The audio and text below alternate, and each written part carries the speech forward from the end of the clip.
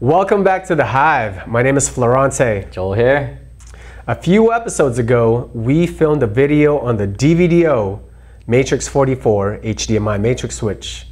For today's segment, Joel's actually going to show us how easy it is to set up the control options for this unit, which are IR, LAN, and he'll also briefly cover RS-232.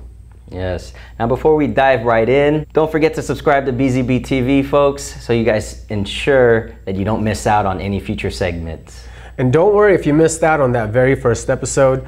We actually attached the link on our descriptions below if you want to refer back to that because we will be continuing from where we left off on that video. Mm -hmm. So without further ado, let's get started.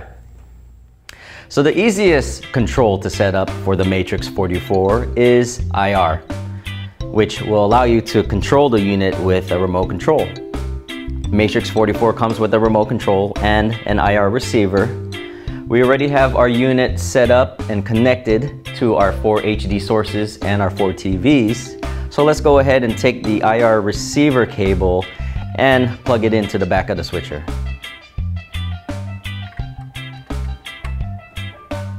After we plug it into the IR in port, make sure your IR receiver is in line of sight of your remote control. Once it's plugged in, your remote control is ready to rock. All right, let's take our remote control for a test drive. Right now we have all TVs showing separate HD sources. Say we want the top right display to show the cable box. That one is output B. So we'll select output B, input 1 for our cable box. Hit go. Now we have both screens showing the cable box. If we want all of our TV sets to show the cable box, all we have to do is hit all, input 1, go. Now all our TVs will show the cable box. Now let's move on to the LAN control. The Matrix 44 has a built-in web server with hosted control GUI, which allows for an easy setup and operation without having to access the front panel of the Matrix. Connecting was super easy. All we had to do was connect the laptop and the Matrix 44 to our network using Ethernet cables. After we have both connected to the network, we'll first have to obtain the IP address. You could get the IP address by going to the menu of the Matrix 44. Once you're in the menu, you want to use the plus and minus buttons to scroll until you see network setup. You hit enter. Once you're inside network setup, you scroll until you reach your IP address. All right, so let's go ahead and input our IP address into the web browser.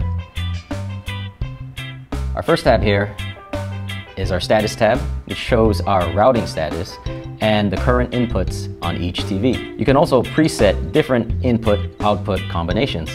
So go to our next tab, it's the I.O. status. Now our source detection verifies all our inputs are up and running. Also, it'll allow us to label each of our inputs and outputs.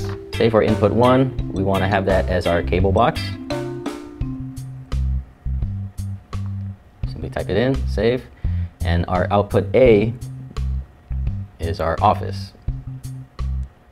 Next we have our matrix control where we can fully control our matrix 44. Here we can manually designate our TVs to specific inputs. Currently our output A is showing the cable box.